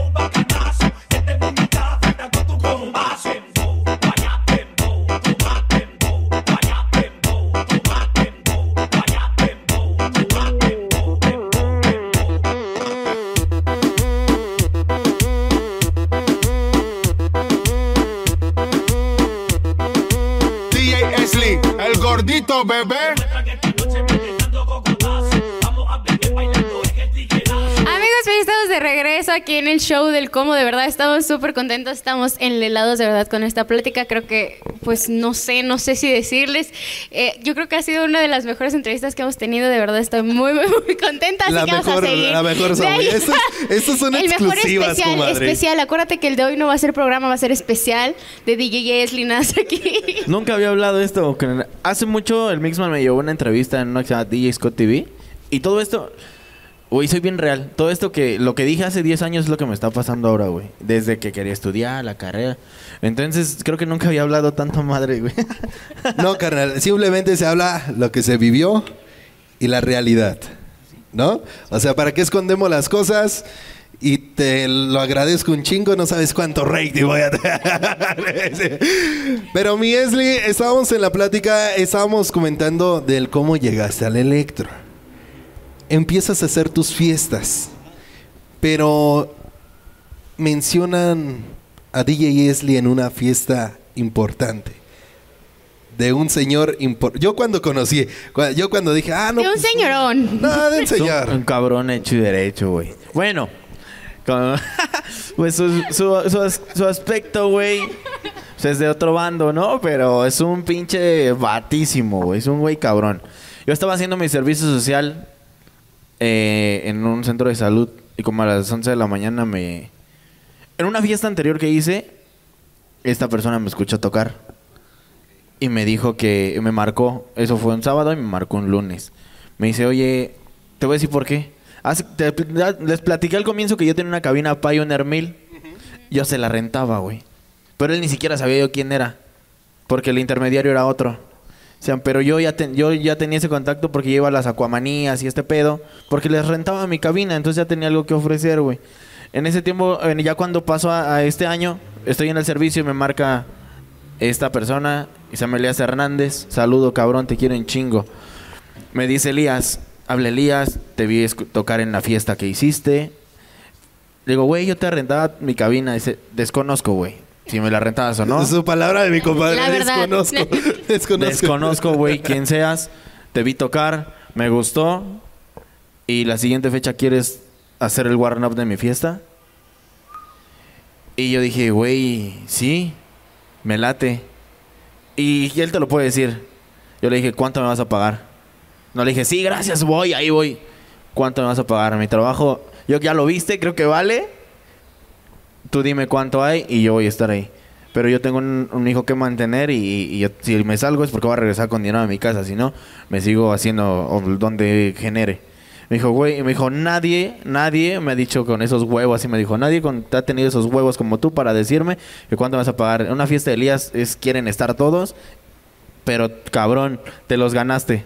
¿Te, te interesa tanto? Dije, sí. Fui, guarnopié tres horas, güey. Tres horas de música electrónica. Guarnopié tres horas. La siguiente fiesta ya no me dio Warnop, me dio otro horario. En la tercera fiesta ya me dijo, güey, tú vas, eres, eres parte de mi equipo, güey. Tú vas a tocar en todas mis fiestas. Tú vas a hacer esto. Ya fue cuando le dije, tengo audio, si quieres te rento y así. Hicimos más mancuerna. Pero él me dijo, güey, tú eres un cabrón que va a llegar bien lejos en esta industria. dije, bueno, me lo está diciendo un representante de las fiestas. Pues algo bueno dejo de tener.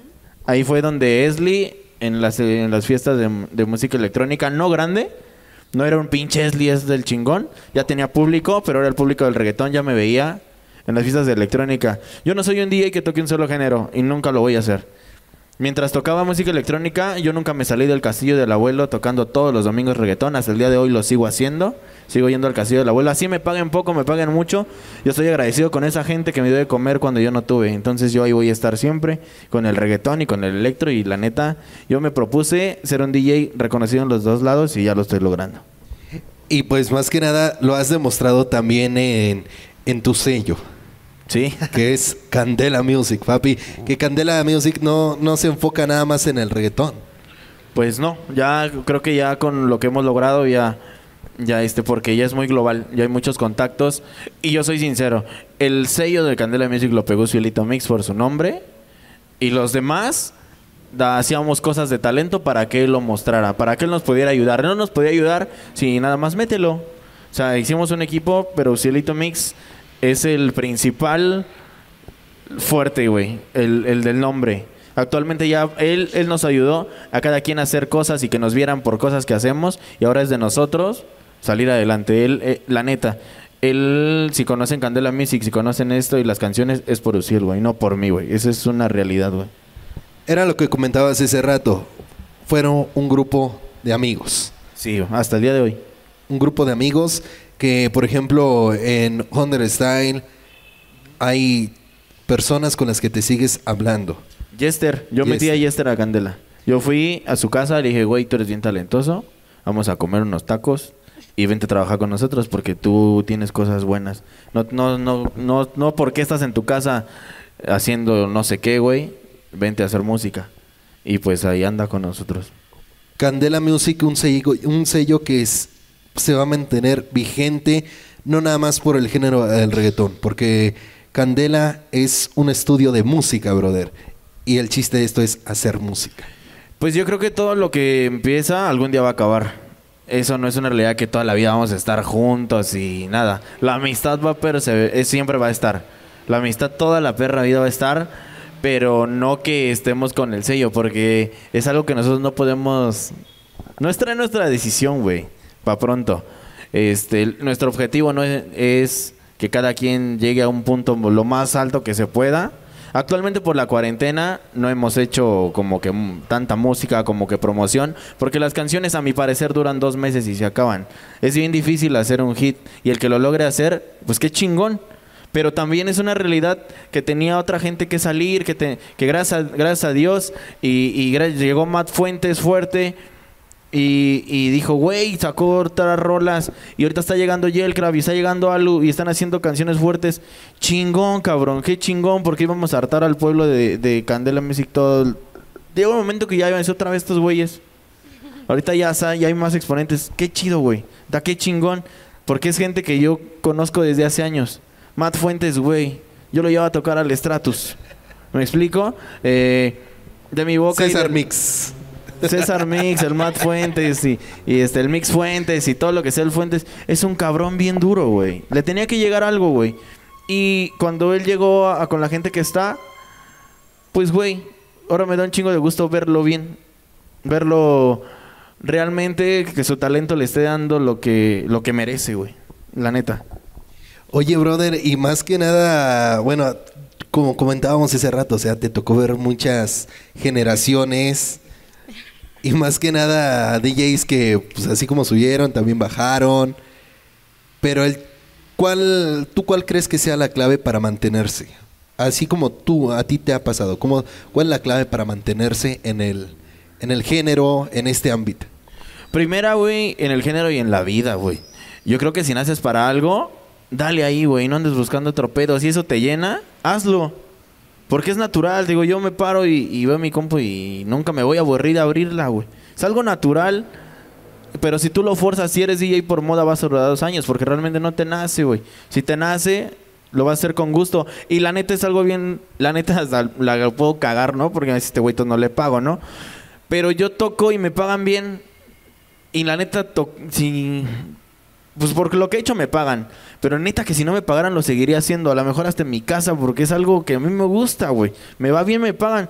Y si no, yo creo que seguiría tocando no sé en dónde, pero dentro de la música tengo que estar, ah, güey, porque es lo que yo creo que si lo dejo de hacer, pues no sé, güey, yo creo que sí me muero, güey. La neta. Algo tuvo muy cierto que, bueno, tú nos mencionó, bueno, ayer, ayer las, me estabas contando. ¿Te gusta el reggaetón, güey? Un chingo.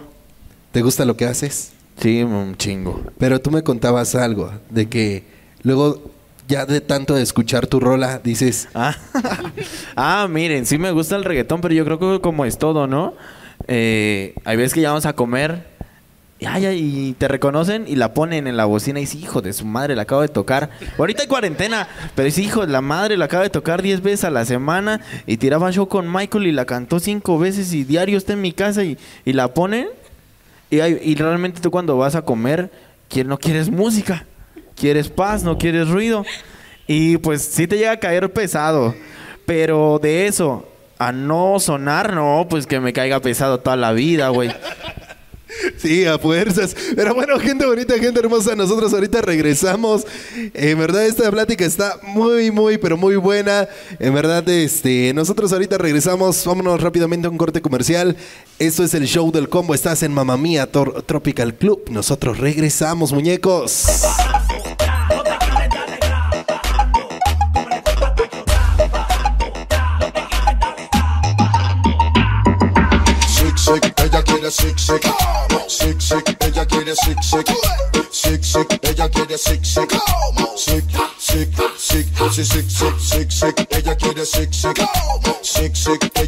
Ella quiere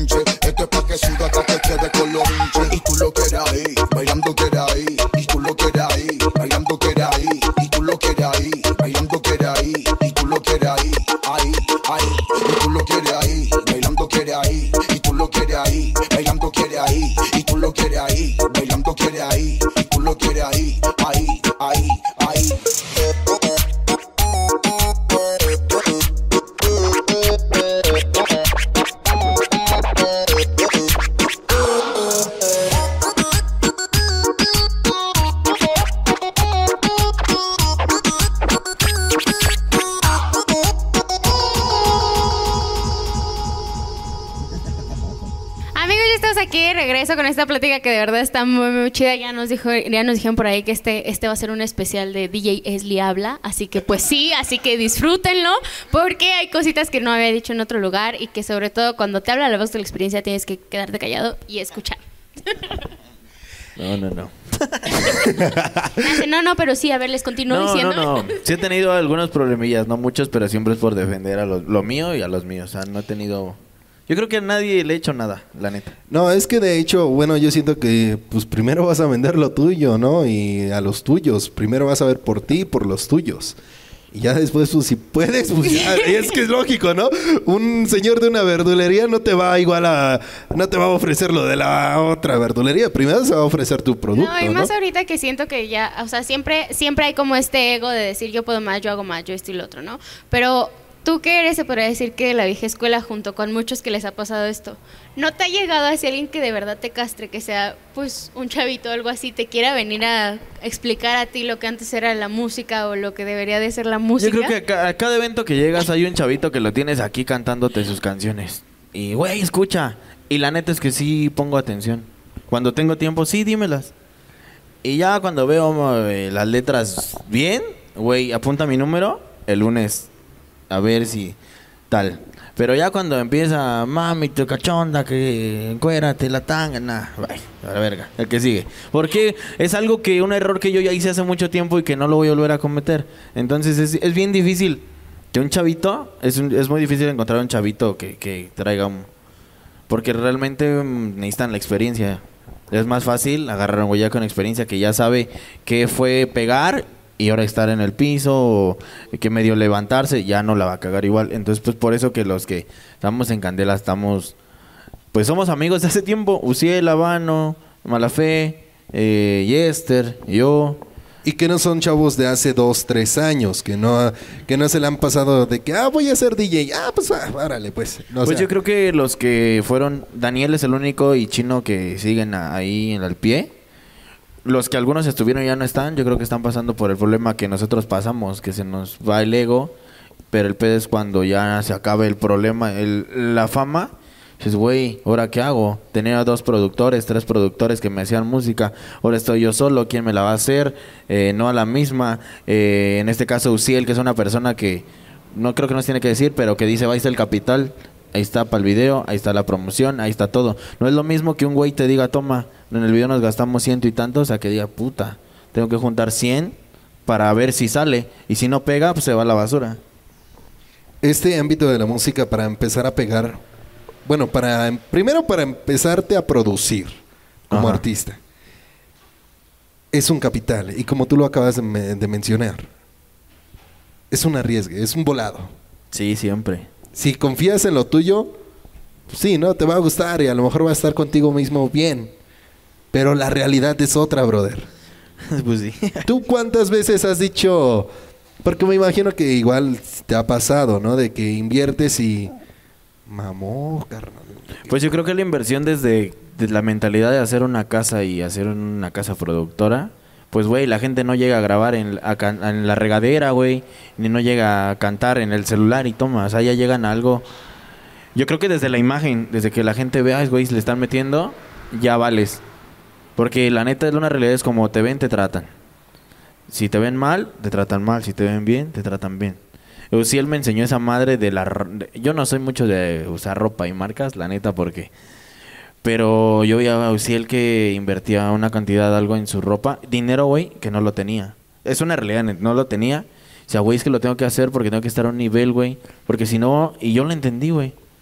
Dice, y aparte de todo, pues me gusta, güey. O sea, no lo estoy... Me gusta. Si yo quisiera invertir en otro lado, decía, es que yo le dije, estás mal, güey. Primero esto y la casa y tu casa. O sea, güey, todo lleva un porqué. Y yo, yo neta, de ese chavo, yo, he aprendido un madral, güey. La televisión, güey. Uciel con las... Te soy sincero, las veces que he ido con el Capi, he ido para allá, he ido para acá, es porque él no ha querido ir, güey. El contacto ya está, pero dice, no, güey. A mí me gusta ser un productor. Yo, ni- yo me gusta hacer música. Yo no soy comediante, yo no soy otra cosa, güey. El día que me inviten es porque ya hice, porque realmente van a valorar lo que estoy haciendo, o porque ya hice una amistad, o porque hay algo que me haga ir. Pero así como que ven y que te metan en el blooper de dos, los últimos dos minutos del programa, dice, no, güey. Y yo al contrario, no, pues vamos, la tele, no. O sea, y he aprendido cosas que realmente sí es cierto, que un chavo más chico que yo, güey, tiene 23 años, y yo tengo 31, me ha enseñado cosas, haces un núcleo que aprendes. Por eso Candela está, está, está, centrado, güey. ¿Cuánto hate no hay? No importa. O sea, no importa, el hate no importa. Eso está chido. Al contrario. La neta, hay que esperarnos a que, a que las cosas se den, que peguen las canciones todos los que tengan que pegar. Y si Dios quiere, vamos a pegar una nosotros. Y si no, neta que estamos disfrutando un chingo el trayecto hacia lograrlo, güey. Y es que sobre todo hablan del hate, pero del hate que les tira la gente, pero creo que cuando te están tirando más hate, te volteas a ver así como de, a ver, ¿quién, quién, quién lo está tirando? Y te das cuenta que no ha hecho nada, nada. Que no sabe nada, que es una bronca o, o te quedas así con cara de neta, o sea, neta me estás criticando a mí porque yo... O que ya lo vivió y que aún así sigue, Porque yo lo he escuchado mucho con Uciel, o sea, pues digo, pues, nos vamos casi de la edad, o sea, entonces siempre es como, ay, es que Uciel, es- ay, es que esto y lo otro. Digo, creo que muchos chavitos de los que andan ahorita buscando que los entrevisten y así, o sea, Uciel ya tocó hasta con la tracalosa, amigos. ¿Qué creen? O, está ¿Qué logrando cosas bien duras, güey, duras. Ahora, ni siquiera sé cuándo me tiran porque me tienen bloqueado, güey. Me dicen los chavitos. güey. Pero bueno, ahorita continuamos con los haters. No, especial de Esli 2.0, carnal. Continuamos, vámonos rápidamente a un comercial. Nosotros continuamos. Helados Yoyo Roll. Ven y conócenos. Helado a solo 15 pesos. Deleita tu paladar con nuestras diferentes especialidades como plátano, zarzamora, galleta Oreo, fresa, mamey, kiwi, piña y café con fruta de primera calidad. Porque los mejores rollitos de helado están en esa. Helados Yoyo Roll. Helados frescos, recién hechos al momento. Visítanos en Amanecer Ranchero, número 170, Colonia Benito Juárez. Próximamente en Farolito y Cuarta Avenida. Helados Yoyo Roll. A solo 15 pesos. Amigos nuestros, así es como nosotros estamos continuando hoy en la entrevista con DJ Esli. Una entrevista que, déjame decirte que, la verdad, fíjate, yo cuando fui a grabar a una fiesta de Elías Hernández, cuando te dije de la primera entrevista, y quiero mandar un saludo a mi gran amigo, eh, al Pumbín, a este Dash, porque nos enfocó requete bonito y no pudo, y después, bueno, pasó algo con esa entrevista, ¿verdad, hermano? Pero cuando le comenté a Esli, oye hermano, nuevamente estoy armando el proyecto, ¿qué onda? Me dijo, papas, vamos a darle. Y el día de hoy se están destapando muchas cosas, hermano. Qué bueno, qué bueno. Nunca había hablado tanto. no, carnal, lo bueno que no te prometiste decir mentiras, papito. Ah, sí, oye, yo ¿Cómo tuve, va? ahorita tuve unos pedos por mentiras hasta piadosas o no sé, pero dije, no, güey, no, no, mejor no. Mejor Ya, no. Mentiras ni una. Las de tampoco voy a mentir, que ya no voy a hablar en ninguna otra entrevista de estos temas de ahorita, las que para que no me vayan a estar diciendo. No, sí, es la realidad, es lo que te decía ahorita. Yo la dije, tengo que hablar, porque hay miles de cosas. Dije, lo voy a hablar a última hasta tal, no lo voy a volver a comentar en ningún otro lado. Este, que otro lado y ven y entrevista. Mientras sea de mi carrera, de este día para adelante, ¿qué vas a hacer? Sí, pero de aquí para atrás, ya, ya no pueden hablar más. dice. Ya no, ¿por qué? Porque como ayer lo mencionábamos, ya pasó. Eh, como comentabas, hay chavos que se enfrascan, ¿no, brother? Como que se enfrascan con el tema y ya dice, chale, ¿no? Como que Y chale. se cierran tirando su show que uno luego ni siquiera sabe, como decía Esli, o sea, lo tienen bloqueado y ya Mm. después es como que alguien más, oye, te andan diciendo esto y tú así de, ¿y quién es este? Lo que pasa es que se, se enfrascan porque fue el éxito que tuvieron y ese quedó el recuerdo y siguen hablando de eso anterior. Si tuvieran un éxito actualmente no estuvieran tirando, güey. Estuvieran disfrutando su- sus logros, güey. Era lo que comentabas, ¿no? O sea, de mí pueden hablar lo que sea. Sigo ganando. Sigo vigente. Es que fíjate que hasta, hasta puede, ahorita la entrevista puede notar mucho como que me le pongo mucho interés. Pero no, güey, te digo, nunca he hablado de que tiran así hasta ahorita, güey. Es la primera vez y creo y la última que lo va a hacer. Pero, no, güey, o sea, yo, yo, yo, la neta, le soy sincero, mis redes sociales ni las manejo yo, güey. La neta. Yo me enfoco a la música, mis amigos, mi hijo, este... En este caso, pues, este, la persona con la, con la que estoy eh, eh, me echará mucho la mano. Y no me enfoco, no sé del hate, güey, no sé del Facebook. Yo nada más veo mi Instagram y quien me pone comentario, gracias, gracias por apoyar mi música, y es lo único que hago. No sé quién toca, no sé, no sé dónde tocaron, que, no, no lo sé. Si me lo encuentro en un evento, ya sé que está tocando. Pero no sé más allá. Sé de Kerry, porque pues cabrón, los conocí con ustedes, por eso me interesa, porque fue mi amigo y estuve en mi casa trabajando. Sé de Yaso porque mi hermano trabajaba en el salón y por ver a mi hermano tocar, ahora Yaso ahí anda haciendo sus cosas. Pues son gente que no que sé porque uh, uh, hay una amistad de tiempo, pero gente nueva, lo único que le deseo es un chingo de éxito, no otra cosa, güey. No que si la pegó y si no la pegó y si la canción no sirve, eh, vale madre, si la canción pegó es porque está buena, así la critiquen, está buena, güey, por eso la bailan. y está chida y ahí se va a quedar al final de cuentas. ¿Tienes alguna experiencia con Candela, con tu gente de Candela que digas, no manches, una experiencia que diga, que sea divertida? Vamos a empezar con la divertida, porque siempre contamos la mala primero, pero Diría una habano, divertida. diría el habano, cada día es un episodio, eh, la neta. Pues mira, la mayor experiencia que hemos tenido, la primera fue los 40 principales en, güey, 90 mil personas. No porque llenó Candela, sino porque era un, festi- era un festival de la radio. Pero sí le gritaron más a Uciel que a todos los artistas. Entonces, Uciel está pasando lo que le pasó a Pablo. Es el más querido y también puede ser el más odiado. Porque tiene un éxito. Y eso es algo legal que que pues no se puede hacer. Esa es la mayor experiencia, cabrón. Y que nadie lo va a tachar porque todos lo vieron. Nadie puede hablar. Nadie puede hablar. Yo creo que esa fue la mejor experiencia. La segunda, eh, así para mí, eh, el otro de los 40 en Puebla eh, y los Coca-Cola Flow Fest. Entonces, para mí, a mí, Esli, la mejor Coca-Cola Flow Fest. La primera. Yo les antes de empezar mi evento había 30 personas. Mi set, güey. No manches, brother. Y Yo dije, no mames, tanto año, 20, 15 años esperando este pinche momento para que nada más viera a mi hermano, a mi papá, a, mi- a mi primo el po- a mi amigo el pollo y dos primos ahí y como otros 30. Dije, verga. Qué bien, nada más vine a... La neta, esta es mi realidad.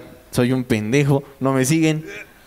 Eh, pusieron los visuales atrás de mí y yo le dije a mi animador Rubix, güey, la neta, mis bailarinas y eso siempre apoyándome. Este Sol, saludos siempre. Esli, tú puedes. Si este pedo se cae, no te preocupes. Yo te conocí porque yo en la secundaria bailaba tus canciones. Tú eres Esli. Tú no te preocupes. Tú la vas a aprender. Si no es aquí en otro. O sea, los ánimos que tuve de parte de mi equipo, poca madre, güey. La neta. Y cuando digo ponen en mi visual, neta es algo que nunca se me va a olvidar. Yo veía a la gente corriendo hacia el escenario, güey. Cuando en el, en el escenario de al lado estaba Anuel y estaba terminando Osuna, güey. Y en el principal estaba de la gueto, creo. Dije, verga, sí, la gente sí me, me dice, soy el... Y todavía tú volteabas, no, y si estoy en el que sí. ah, no, no, yo sí, no. sí, será este. Mira, güey, es algo bien realidad. Te digo, a mí la fama no me importa, güey, pero si ese era el lugar de darme la cuenta si yo estaba haciendo las cosas bien o realmente estaba por Uciel. Esa es una realidad, güey. ¿estoy por mí o estoy porque estoy al lado de este men? Sí tiene que ver mucho que me, den a- me, me escuchan por Uciel, eso es una realidad. Pero dije, este momento es mío, de yo tocar y ver si hay gente que aquí se va a parar. Y, güey, yo veía a la gente correr y correr. Puse el intro, güey, y la segunda canción la carpa estaba a reventar, güey. A reventar, güey, a reventar, a reventar, a reventar, güey. Chingón, yo nunca me lo creí, güey. Neta, ese día no sabía si llorar, si reírme, si concentrarme, la piel chinita. Yo nada más volteaba a ver, y no me acuerdo que nada más volteaba a ver a mi papá, y me dijo, ya lo hiciste, algo así, güey. Y dije, a huevo. O Lo lograste, ¿no? Sí. Era lo que te iba a decir. ¿En qué momento tus papás se dieron cuenta como de, de lo famoso que eras? Porque generalmente siempre pasa eso con los artistas, ¿no? Que tú dices, no, pues yo soy artista. Y tus papás así de, me preguntaron apenas que si era tu mamá. Y tú, pues sí, ma, pues estás viendo, ¿no? Pero Mira, te voy a decir cuenta. algo que es bien real y hasta el día de hoy yo no me siento un artista. Yo no me siento famoso, yo no me siento... Yo ahorita veo al demente que está atrás de cámaras y es mi amigo, yo conocí al demente años y yo soy el mismo ahorita y ayer y antier y a ti igual y a ti no te he conocido, hoy te conozco y cuando te va a ser la misma persona. Yo no soy artista, yo soy un humano que le gusta hacer lo que hace y tuvo éxito y qué chido, y si no lo tiene, lo voy a seguir haciendo. O sea, no, no, no me siento. Mi papá, él se da cuenta, se dio cuenta que yo empecé a tocar porque él trabaja si está paluca. Trabajaba, ya se jubiló. Y veía las bardas. Y me decía, oye, es que todo, todo el camino hay bardas. Y dice estaba tu nombre. Sí. Y en el trabajo dicen, ay, que no sé qué. Y, y los hijos del hijo escuchan la música y yo le digo, ese es de mi hijo. Y así. Eh, yo eso es cuando yo me doy cuenta que mi nombre suena o mi música suena. Porque mientras estoy esperando la consulta, están escuchando saxo suelta en el teléfono. Eh, suena el ringtone y traen saxo suelta. Suena tal y traen de, en el tono, se me- bueno, las canciones que he hecho con, con Uciel. Y ahí es cuando me doy cuenta cuando los, los conocidos dicen, que me, me dicen en el trabajo o X cosa, yo conozco al que hace las canciones. Ese era mi amigo de hace tiempo, o es mi amigo de hace muchos años. O sea, eso es, porque yo sé que si llegas a un evento donde te pares, te van a pedir fotos, te van a pedir esto, eso es lo normal. Pero ya que en la calle, gente que no se dedica al género, te reconozca, es a huevo, ya lo hice. Ahí. Pero yo sigo siendo igual. ¿Con tu hijo has tenido alguna experiencia que, o sea, porque obviamente decir, sí sabe quién es su papá, pues sí, no eres tú, ¿no? Sí. Pero en cuestión, en cuestión de la música, él se ha quedado así con cara de, ay, Mira, mi, mi hijo es una persona bien inteligente. Fue un niño que nació súper dotado en cuestión de que es muy inteligente. Aprendió a leer muy chico, caminar, el inglés, todo lo sabe, e investiga diario. Eh, es, es una persona muy tranquila, muy... Pero él diario sabe de todas las canciones, sabe de los seguidores, sabe de esto, sabe de lo otro, ahora sacaron esta. Él sabe todo. En pocas palabras, casi casi ya maneja tus redes sociales, ¿no? Pues yo creo que algún día lo va a lograr hacer, pero yo no quiero como que... Y él tiene que decidir la vida que le toca. Él, él si quiere ser youtuber, pues sabe que su papá lo va a apoyar toda la vida. Él sabe que si, que si quiere ser otra cosa, pues su papá lo va a apoyar toda, siempre lo que quiera hacer. Pero en cuestión de musicalmente, yo sé que él está orgulloso de lo que yo hago. Porque siempre pone, llegamos a la casa y pone la canción en el YouTube. Eh, pues mi papá, siempre mi papá, yo sé que está orgulloso de su papá, eso yo lo sé. Y digo, bueno, fuera musicalmente y si él quiere hacer lo que yo hago, pues qué chido, pero que él forje su destino, él va a decidir lo que le gusta hacer, no porque su papá tenga nombre en la música quiere decir que yo le voy a decir, mi hijo va a tocar ahí porque es mi hijo, no, no, él verá su felicidad y él verá lo que quiere hacer y pues sí voy a luchar por apoyarlo y que le cueste menos trabajo el camino, sí, pero él va a decir lo que quiere hacer. En cuestión de música, ¿qué les puedo decir? Con él escucha la música que, creo que todo el mundo escucha. Es una persona normal, él no está metido. Ni quiero que se meta en lo del DJ y así. A mi papá es el DJ y ya no. Pues a él sí le gusta la música, qué chido. Si no le gusta, pues ni modo. Pero yo creo que es fanático como cualquier persona. O sea, se le gusta todas las canciones de, de Candela, sí. Le gusta Saxo Suelta, sí. Pero también tiene otras cosas que le gustan. Entonces sí es muy... Yo en ese sí divido mucho la familia con mi trabajo. O sea, yo no hablo con mi familia de lo que hago, de música. Los voy a aburrir. Sí, a fuerzas. No conocen, no, no, no, no están en lo mío. Hermano, ya por último, dos cositas. Uno, ¿qué le dirías a Esli de hace 10 años? Más bien, de hace, de hace 15 años. Pues le diría que logró lo que buscó desde que se paró en las primeras tornamesas. Eso le diría. Le diría gracias, cabrón, por no desistir, por no, por del- desde todos los eventos hasta el día de hoy. El evento que te pares voy a hacer bailar a esa gente porque yo a eso vine. Le decía, güey, gracias por la, por la disciplina, por la constancia, por, por defender lo que te gusta y no dejarte tirar por cualquier pendejo que diga que eres naco por no tocar un género o por no tocar otro. Eh, le diría, ah, has logrado un chingo. Bueno, lo anterior, pues eso, que nunca se ha dejado que nadie, que porque es la neta, que porque es chaparrito es un pedo. Se la neta, sí, y todo afecta. Y, y ha logrado que digan ese chaparrito es chingón. Eso, eso le diría, gracias, cabrón. Y por último, ¿qué le dirías a un niño que diga, yo quiero ser como tú? ¿Qué le dirías? Le diría que si quiere ser como yo, pues se lo planteé. Yo no soy el mejor, a ti se los voy a decir, nunca soy el mejor, ni soy perfecto, ni nada. Trato de hacer las cosas como a mí me gustan, a mi manera. Ah, no, no, no sigo unas reglas de que esto se hace por esto, porque así dijeron, no.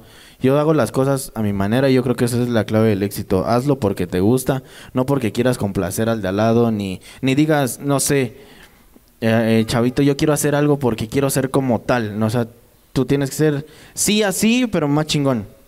Eh, o algo así, le diría nada más. Si, si te gusta ser futbolista, hazlo. Si te gusta ser, pero sé, pues el mejor, porque mientras tú te sientas a gusto, lo vas a lograr. Si quieres ser como Esli y quieres ser DJ, la neta que este trayecto está bien chingón, pero la disciplina nunca la vayas a, a olvidar. Ni no vayas a olvidar que que todos los vicios que se presentan en este círculo te van a llevar a un éxito. O sea, la neta es que no. O sea, disciplinado y constante desde el día que quieras hacerlo. Y si realmente dentro del trayecto no te gusta, sí déjalo. Porque no te está llenando. ¿Algo que quieras agregar, Saumi? Nada, de verdad que sigan sus sueños, sigan cumpliendo todas las metas que se pongan y como lo dice Esli, bajo siempre un régimen, se podría decir, de constancia, de esfuerzo y de disciplina, siempre para que logren sus objetivos. Desviándose de esas cosas, pues sí va a ser un poquito más difícil, si no es que no van a lograr las cosas. Esli, pues nada, creo que está de más decir que les des tus redes sociales, pero pues dales tus redes sociales para la gente que apenas está ahí con redes sociales. Me pueden buscar en todos lados como DJ Esli, así aparece todo. DJ Esli, en YouTube DJ Esli TV. Ahí es medio, medio complicado porque eh, yo firmé unas cosas con Sony Music y ellos me hicieron unos canales y así. Pero todo lo que vean en mis redes sociales, por ahí ando. Yo no soy una persona que tenga unas redes sociales altas, ¿sí? La neta es que no. Seguidores 20 mil, 25 y así, no mucho. Pero, eh, ¿cómo les quiero? Algo que les quisiera decir. Mm, yo no, ahorita como que yo hasta siento como que me halagan, ay, pinche Esli es chingón. O sea, sí soy conocido en esa, eh, en varios lados. Yo no sé hasta dónde pueda llegar. Sé que mi canción suena, sé, sé muchas cosas, pero mm, todo tiene un porqué. Todo tiene, se lo debemos a alguien. Yo mi trayectoria de ahorita se la puedo deber mucho a Uciel, se la puedo deber mucho al saludos al Manto y Selecta, que es el- la persona que, que confía en uno, que confía en lo que estamos haciendo, pero yo creo que él se dio cuenta que estamos haciendo las cosas bien desde hace tiempo y por eso estamos eh, en, en donde podemos estar. Cualquier red social, búsquenme en, pues ahí en Facebook, estoy en el personal, es Esli Guzmán, Esli Guzmán, ahí me pueden encontrar, y página de Esli, y neta, de verdad, yo tengo a alguien que me maneja mis redes, pero en el personal a todos les contesto. Todo lo que sea musical, a todos les contesto. Si son, oye, la neta, yo lo veo los comentarios que me dicen, este, ¿qué pasó, mi tío? O así, no, los ignoro, güey. Pero gente que esté enfocada a hacer, porque me dicen, mi tío, vamos a grabar una rola, güey, bye. Pero si Sobrino, es- bye. si es gente que, que quiere lograr algo y yo los puedo ayudar, neta que, que sin pedo, güey. Neta, les puedo dar hasta mi número, lo, lo que gusten. Yo no soy un dios, pero tengo a lo mejor algo que ustedes no tienen, que si puedo, ahí está. Hermano, pues de mi parte te agradezco, te agradezco, Miesli, que hayas aceptado esta entrevista, que te hayas abierto con Este nosotros a este confesionario, exponiendo a DJ Esli casi casi. no, pero en verdad te lo agradezco, hermano. Eres una persona eh, simplemente que no ha perdido el suelo, que no ha perdido mm, ha estado en los mejores escenarios de aquí de México, pero no ha perdido algo, que es la humildad y la sencillez. Con sus amigos y con su público, hermano. Hermano, no nada más vas a tener este éxito de saxo suelta. Tienes rolas que me lo co- ayer lo decías. Tiene dos años que las hago, pero no las he sonado. Hay que darle su tiempo, el tiempo al tiempo. Si las cosas van a, llega- van a llegar, pues tienen que llegar y si no, siempre disfruten el trayecto hacia ellas. Yo creo que la felicidad no está en el varo, ni en la fama, ni en los likes. La felicidad, si uno se siente bien, yo creo que eso es lo que... Si a ti te llena, es el éxito que puedes tener. Porque, pues yo creo que dentro de la fama llega una etapa donde nos sentimos solos. Y yo creo que a todos nos ha pasado, pero hasta el día de hoy yo no he sentido como que me que me quiero matar. Tengo amigos que tienen famo- fama y se quieren matar. No, yo no, yo, yo, yo me siento bien y creo que esa es la fama que he tenido más. El éxito más grande que he tenido es ser feliz tocando 16 años. O no tengo güey. Hermano, gracias. Simplemente gracias. En verdad que fue un verdadero gusto, un placer. Y hermano, espero y no sea la primera ni la única vez que vengas. Ya sabes, esta es tu casa. Y por favor, coméntales del evento de este próximo sábado. Ah, bueno, estamos aquí en el Mamma Mía. El próximo, este, sábado 13, por aquí voy a andar. ¿Es 3, va? ¿Sí? Sí, sí, bueno, el sábado 3. No, es que, no, no, es que hubo, un problemilla que la fecha se movió de fecha. Pero este sábado 3 voy a andar por acá en el Mamma Mía. O si quieren por acá caerle. Y mucho reggaetón, mucho perreo, mucho todo. Y no se olviden, eh, van a tener Esli para mucho rato hasta que me quieran llevar para allá arriba. Pues me quede sordo una de dos, pero saludos a todos y nos vemos aquí en el Mamma Mía este 3. Es el sábado, toco como, no sé, como a las 12, 11. Ahí el combo ahorita les va a mandar la propa, pero yo aquí voy a andar, neta, aquí voy a andar todo el día. Así es que ya se la saben, Esli, muchísimas gracias en verdad por haber aceptado la invitación. Saomi, ¿algo que quieras agregar al programa? Nada, darle las gracias por seguir apoyándonos, por, por, por vernos siempre y sobre todo, pues entre ustedes más nos ven, nosotros vamos a seguirle trayendo invitados así de chingones como los que hemos estado trayendo. Entonces, pues nada, síganos mucho. Les dejo mis redes sociales, que es en Instagram, Mars Saomi, TikTok Saomi Mars y Facebook igual como Saomi Mars. Ale, dales las tuyas. Bueno, pues amigos, muchísimas gracias por habernos eh, acompañado. Mis redes sociales en Facebook como Alejandro Concepto AR, igual en Instagram Concepto AR. Y bueno, pues recuerda también seguir la fanpage de eh, el show del combo. Y además, por supuesto, recuerda compartir todos los videos de radiolocura.tv porque estamos aquí en Radio Locura. Y también, Saumi, recordarles que vayan y sigan las redes sociales de nuestro patrocinador oficial que es Mamá Mía Terraza Club, que bueno, el día de hoy estamos cambiando de escenario, ¿eh? ¿Eh? Nos cambiamos de escenario. Bueno, continuamos, nosotros nos vamos, muchísimas gracias. Esli, muchas gracias. También al Ustedes. Demente, allá a Palmer, a Poncho, a toda la banda y aquí de Mamá Mía. Gracias por las facilidades. Nosotros nos vamos. Hasta la próxima, amigo. Nos vemos el próximo jueves, papi. ¡Vámonos!